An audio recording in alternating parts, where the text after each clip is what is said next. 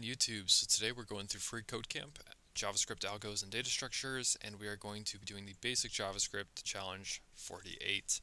So let's go down and find 48, and we're going to be doing shopping list. So create a shopping list in a variable mylist. The list should be a multidimensional array containing several subarrays. Okay. The first element in each subarray should contain a string with the name of an item, uh, the second element should be a number representing the quantity. There should be at least five subarrays in the list. Okay, so this is pretty straightforward what it wants us to do. If we've made it to this point through all the previous challenges, this should be no problem.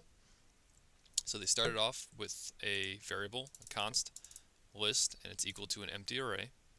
So what we want to do is, I like to break it like this, uh, and as long as we're within these brackets, that's not a problem let's add our first array. So it's a shopping list. So what do we want from the grocery store? We want some milk. Mink. We want some milk. And we want probably like 20 of those. 20 gallons. That's about right. And because we are within this, the, the highest level array, the main mylist array, we need to separate these subarrays with commas. So we could just put another array here, and we could say anything like um, beef. We want all the beef. 10. We want 10 pounds. We could just do it like this, but just to have cleaner code, we want to break it like this, and we'll have a comma at the end of each line. And just do a new line so we can read it, and it's uh, a little, little easier for readability. And we want some chocolate we probably just want like one of those because we're on a diet or something. And then we want some computers, as in plural. We want like nine of those.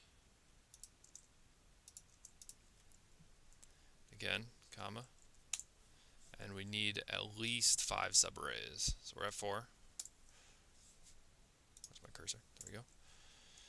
And then we want some HDMI cables because you can never have too many HDMI cables if you ask me. We probably want like 99 of those. And for fun, let's just do one more. Uh, what do we want? We want a mouse, as in a keyboard mouse, because we are getting nine computers, we probably need some mice to go with them. So we have our main array set to my list, and this main array contains subarrays separated by commas at the end of each line. And again, we don't have to break it up into different lines like this, but for readability, it's much easier to see. We have our variable myList, it's equal to an array with multiple subarrays. Okay? That's all we have to do for that one. Hope that made sense. Hope to see you guys in the next video.